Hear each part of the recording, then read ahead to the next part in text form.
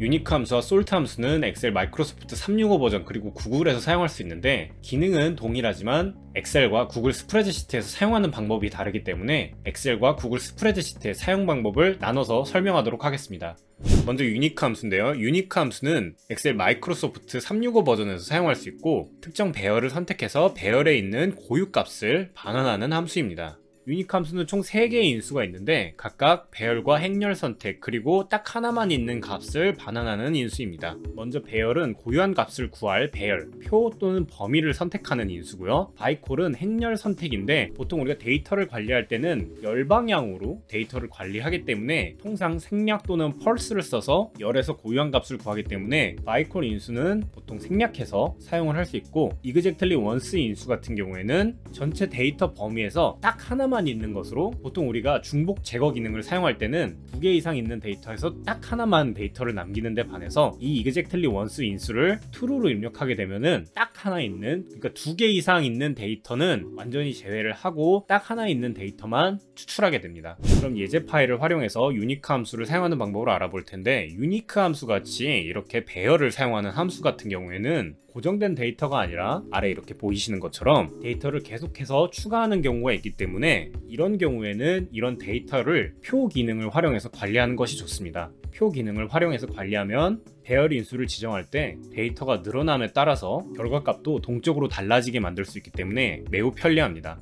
우선 B4셀을 이렇게 클릭을 해주고요. 삽입 탭 클릭하고 표 그룹에 표를 클릭하고 표 만들기 대화 상자가 나타나면 확인을 클릭합니다. 그럼 이렇게 표 기능이 적용되는데 여기서는 줄무늬 행 제거하고 이렇게 머리글만 남겨둔 상태에서 관리를 할 거고요. 제목이 잘 안 보이기 때문에 홈탭 가서 검은색으로 바꿔주겠습니다. 그리고 O4셀에서 일단 지역을 unique 함수를 사용해서 확인을 해보면은 지역 이렇게 입력을 해주고요. 그 다음에 O5셀에서 이렇게 unique 입력을 하고 탭을 누르면은 인수를 입력할 수 있는 상태가 됐는데 여기서 G4셀을 이렇게 클릭하고요. 그러면은 표 1, 그럼 우리가 방금 표로 지정했던 이 표 1에서 머리글 지역이 되는데 이 앞부분에 머리글은 이렇게 삭제를 해주고 마찬가지로 뒤에 대괄호도 삭제를 해주고 괄호를 닫고 엔터를 누르면은 그럼 이렇게 지역열에서 중복된 값을 제거하고 각 하나의 데이터들만 출력되는 걸 확인할 수 있습니다. 여기서 아무 셀이나 예를 들어서 이렇게 제주로 바꿔주면은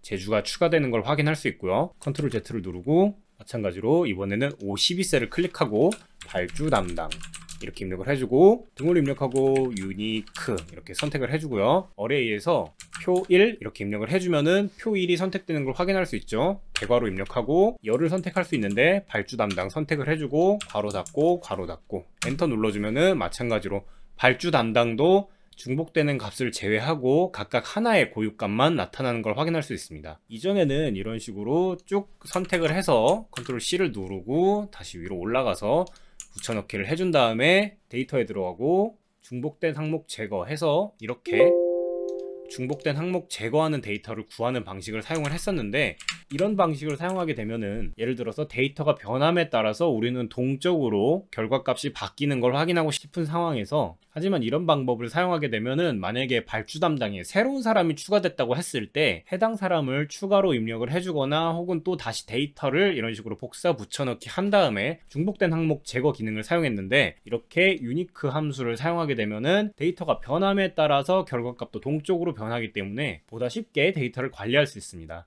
단점이라고 하면은 MS365 버전 이상에서만 사용할 수 있다는 점이고요. 나머지 인수도 알아보면은 먼저 여기 G9셀을 이렇게 제주로 바꿔주고 O5셀을 클릭하고 두 번째 인수였죠. 두 번째 인수인 by col은 이렇게 생략을 해주고 세 번째인 exactly once 인수를 true로 선택을 해준 다음에 엔터를 누르면은 유일하게 하나만 있는 값이기 때문에 두 개 이상 있는 데이터는 제외를 하고 제주만 나타나는 걸 확인할 수 있습니다. 다시 컨트롤 Z 눌러주고요. 또 컨트롤 Z 눌러서 여기 전라로 바꿔주고 그리고 이렇게 표 범위로 관리하면 좋은 거를 다시 한번 보여드리면 쭉 밑으로 내려가서 여기에 97하고 컨트롤 D, 컨트롤 D, 컨트롤 D, 컨트롤 D 해가지고 쭉 복사를 해준 다음에 예를 들어서 이 새로 추가된 마지막 강원을 제주로 바꿔준다. 그래서 다시 위로 쭉 올라가 보면은 이렇게 제주가 추가된 걸 확인할 수 있습니다. by col 인수를 사용하면은 열 방향 외에도 행 방향 데이터도 똑같이 관리할 수 있다는 것만 확인해 주시면 됩니다.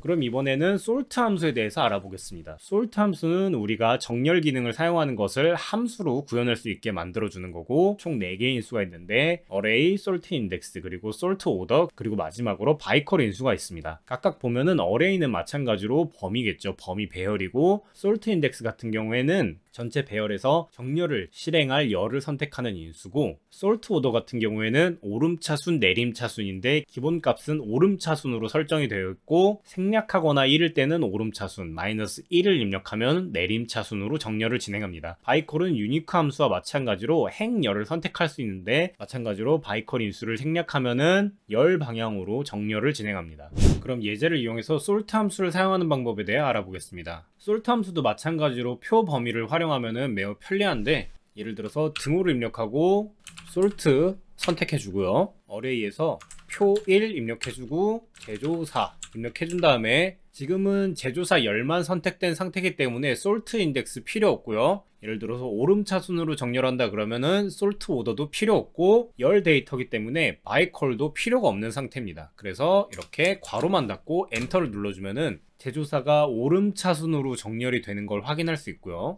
다시 이 제조사 부분을 발주 담당 이런 식으로 바꿔서 입력을 해주면은 발주 담당 직원의 이름이 오름차순으로 정렬된 걸 확인할 수 있습니다. 또 전체 표 범위를 이런 식으로 입력을 해주고 예를 들어서 지역을 오름차순으로 정렬하고 싶다 그러면 솔트 인덱스 하나 둘 셋 넷 다섯 여섯이죠 여섯이니까 6을 입력을 해주고 솔트 오더는 내림차순 마이너스 1로 이렇게 입력을 해주고 엔터를 누르면은 지역이 충청부터 시작을 해서 이렇게 내림차순으로 정렬된 걸 확인할 수 있는데 그럼 이렇게 하나의 표 범위를 두 개 이상의 기준으로 정렬하는 방법은 어떻게 하냐? 간단합니다. 이렇게 어레이는 그대로 놔두고요. 솔트 인덱스에서 중괄호를 이렇게 입력을 해주고 현재 여섯 번째는 지역이고 두 번째 기준으로 이름을 지정을 하고 싶다. 그러면은 콤마 입력해주고 오 해주고 중괄호 눌러서 닫아주고 두 번째 솔트 오더 같은 경우에는 중괄호 입력을 해주고 여섯 번째 지역이 지금 내림 차순으로 되어 있으니까 이 다섯 번째 이름은 오름 차순으로 지정을 해주겠습니다.